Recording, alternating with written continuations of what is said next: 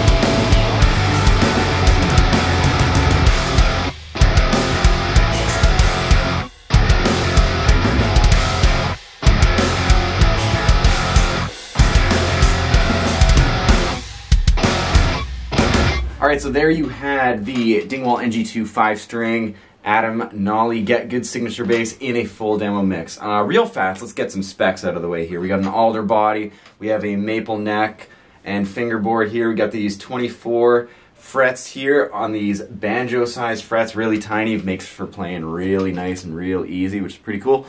Uh, Hipshot hardware pretty well all throughout here. We have the two pickups here from Dingwall. This is the older model where they were actually still using the soap bar designs, which I personally prefer over the new ones because in case maybe something, maybe let's say a pickup fails down the road, which I doubt it will, I can just go and get any sort of soap bar size pickup and just put it back in. Unlike the new ones, it might be a little harder just to find um, a replacement pickup from that. I'm not sure if Dingwall carries them in stock on their website or anything. And the big thing that separates this bass from many others, we have the Darkglass preamp, which is, as we all know, a recipe and a very tried and true recipe for great metal tones. Throughout most of this demo, you're going to hear all the way back, we're going to have the bridge pickup. The second position, we're going to have the neck or the middle pickup here. Third position is going to be both of these pickups in series, and the fourth is going to be both of these in parallel.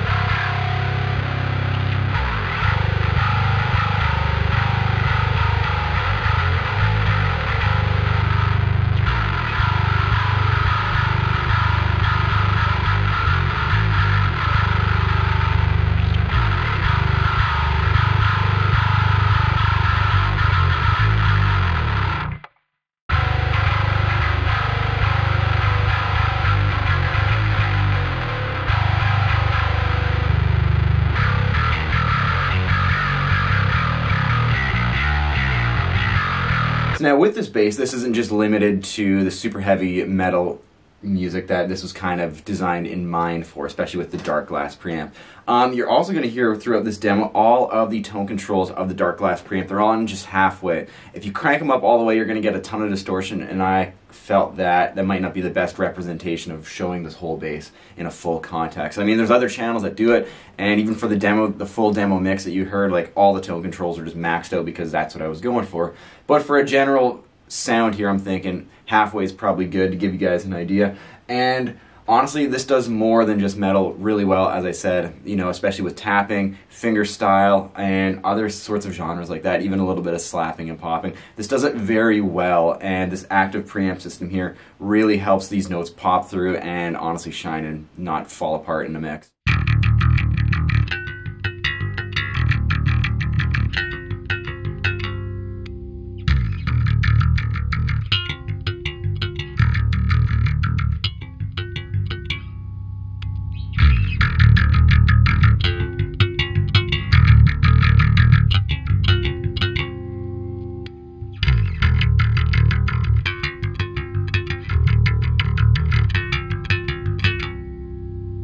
All right, so now the whole point of this is why did I sell my D-Roc and buy this? In a few, uh, many videos ago, I had a, a, little demo video similar to this about the D-Roc, saying like it's a perfect bass, you know, like it does the whole Dingwall thing even without an active preamp and everything. And here we are, where I pretty well sold it and got this. So I initially bought the D-Roc because I loved the shape and you know plugged it in. It sounded amazing. Did the whole uh, low tune thing really well and everything like that. Then throwing it in an actual band mix, even with all the amount of like EQing and flexibility that it has, it seemed like it was still having a hard time really keeping up and cutting through with the context that I was using it in the room and on stage. If that bass had an active preamp, I probably would have kept it. You know, you could tweak all day out here on the studio in the studio, you know, with different compressors, filters, EQs, and whatever like that, and it's going to sound different coming out of monitors rather than an actual 410 or an 810. But at the end of the day, like I just needed something that was right in the ballpark, right from the day one, and ready to go no matter what. So I actually ended up getting this out in Calgary and had to use it the next day at a festival that I was playing because my main bass decided to not work for some reason. So threw this in and it was honestly perfect. It sounded better than my Fender Jaguar, to be totally honest. Cut through and it just had that modern metal sound that was just that's just so iconic today. You know, not to you know be lame and say, well, it's a Darkglass and a Dingwall, right? Like, how original. Recipe for a good tone, but at the end of the day, if it works, it works, and if it sounds amazing, well, you know, and if it ain't broke, don't fix it, right?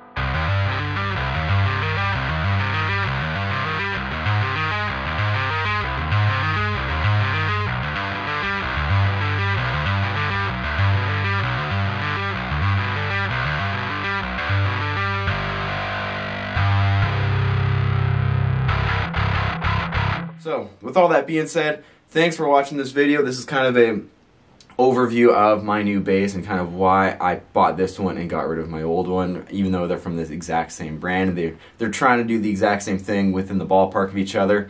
Um, yeah, if you like this video, drop a thumbs up, leave a comment below if you got another bass that's on par with this, or if you're another Dingwall fan as well, or yeah, and subscribe, hit the bell, whatever YouTube is wanting to push for the algorithm these days, who knows? It's all a game, right? Thanks for watching, and I will see you next time.